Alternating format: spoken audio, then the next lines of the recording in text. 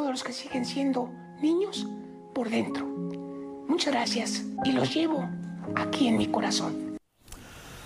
Bueno, y una noticia muy lamentable para el mundo artístico mexicano y también para todos los niños en Latinoamérica y el mundo, porque esto trascendió. Chabelo, pues lamentablemente falleció hoy por algunos problemas pulmonares y ya pues se habría anunciado que padecía de alguna enfermedad, pero venía superándolo, lamentablemente.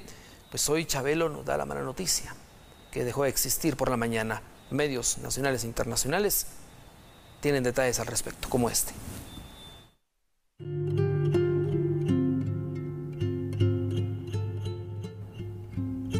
El mundo del espectáculo está de luto por el fallecimiento de Javier López Rodríguez, mejor conocido como Chabelo, en honor al icónico personaje que interpretó hasta su retiro en 2015.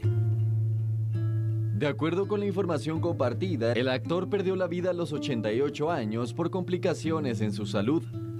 Los seres queridos del actor no dieron más información al respecto, sin embargo, extendieron un agradecimiento a todos por sus condolencias y muestras de cariño. En distintas ocasiones Chabelo ya había sido relacionado con un deterioro. Incluso salió a desmentir los rumores sobre una posible demencia.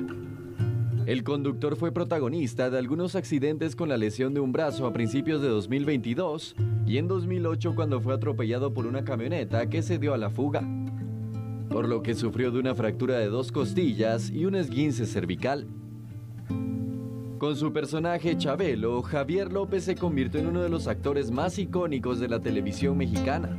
Su programa dominical En Familia con Chabelo estuvo al aire por 48 años, siendo el programa infantil que más tiempo estuvo al aire.